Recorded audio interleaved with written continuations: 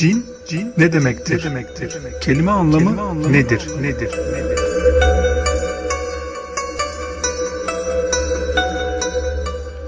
Sözlükte örtmek, örtünmek, gizli kalmak anlamındaki cen kökünden türeyen bir isimdir. Tekili cinli olup örtülü ve gizli şey anlamına gelir. Cin kelimesi cins isimdir. Bir şeyi duyulardan örtmek anlamını ifade eder. Cin kelimesi sözlükte ins zıttı anlamında kullanılır. Araplar bir şeyi gözleriyle gördüklerinde o şeyi gördüm, hissettim derler.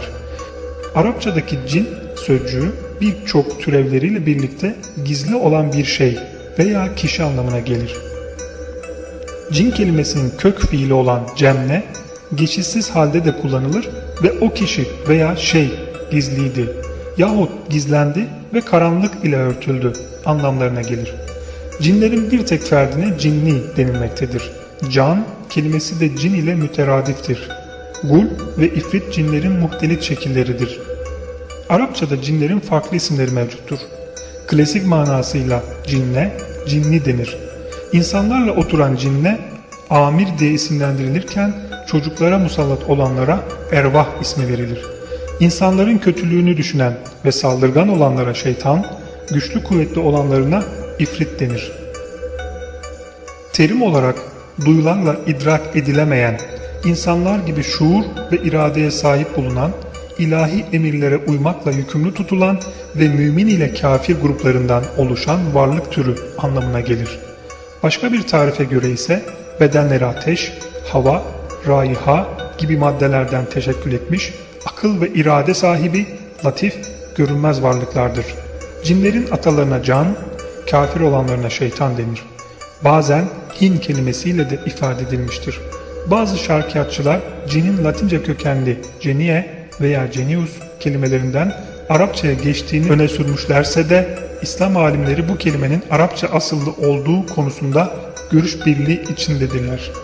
Bütün klasik dil bilimciler cin teriminin yoğun veya şaşırtıcı karanlığı daha genel anlamda insanın duygularına kapalı olan şeyleri yani normal olarak insanın kavrayamayacağı ama yine de kendilerine ait somut ya da soyut bir gerçekliği bulunan şeyleri, varlıkları veya güçleri gösterdiğine işaret ederler. Cin ismi Ragib İsfahani'nin müfredatta açıkladığına göre iki şekilde kullanılır. Birincisi genel anlamıdır ki ins kelimesinin karşılığında duyulardan gizli olan bütün ruhanilere denir. Buna göre melekler ve şeytanlar da bu tarifin kapsamına girer. Her melek cindir. Her cin melek değildir. İkincisi cin böyle ruhanilerin hepsi değil bir kısmıdır. Çünkü ruhaniler şu gruplardan oluşur.